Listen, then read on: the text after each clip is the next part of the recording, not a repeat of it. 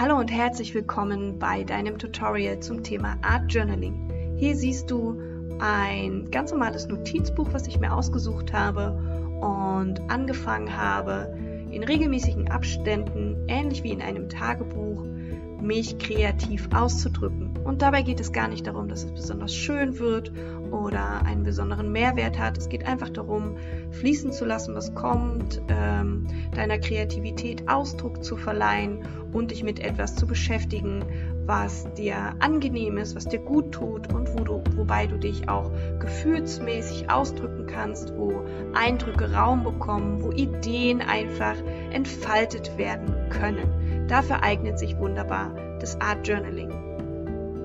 Heute möchte ich dir eine Mischtechnik vorstellen und zwar mit Aquarellfarbe, Acrylfarbe, entschuldige, mit Acrylfarbe und ähm, Collage, Feinliner und Pastellkreide.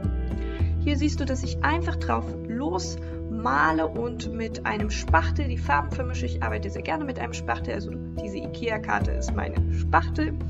Und dann arbeite ich auch sehr gern mit Mustern. Hier geht es einfach darum, fließen zu lassen, was kommt, dich äh, der Sache hinzugeben, gar nicht darauf zu achten, ob es perfekt ist oder eine, äh, ein besonderes Ergebnis bei rumkommen soll. Schau mal, wo es dich hintreibt beim Malen und welche Materialien, welche Farben es dir am Ende auch antun, ob du sehr gerne mit Buntstiften malst, das lässt sich natürlich sehr gut unterwegs machen, oder mit Filzstiften oder mit Kreiden oder in meinem Fall eben auch mit Acryl und diesen Mischtechniken. Ich liebe es mit Mustern der ganzen Sache eine Form zu geben. Hier erkennst du zum Beispiel, ähm, das ist auch ein spannender Moment, wie gehst du mit Herausforderungen um, wie findest du neue Lösungen, wenn es Momente gibt, die dir nicht gefallen, wo du das Gefühl hast, äh, das ähm, war jetzt nicht so, wie du es dir vorgestellt hast.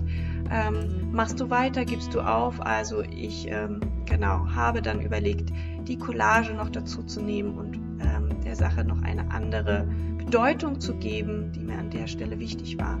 Und so kannst du eben auch mit Bildern das Ganze erweitern und ergänzen. Man kann auch Stoff nehmen, Naturmaterialien. Ähm, es gibt noch sehr viele unterschiedliche Techniken, was da möglich ist, um dem Ganzen eine besondere Tiefe zu geben oder Intensität zu vermitteln. Hier male ich jetzt auch mit den Fingern. Das ist auch eine Möglichkeit, ähm, dass du sozusagen mehr im Kontakt kommst mit deinem Werk, mit deinem Bild ähm, in Verbindung gehst und ähm, mehr Kontrolle vielleicht hast über den Farbauftrag.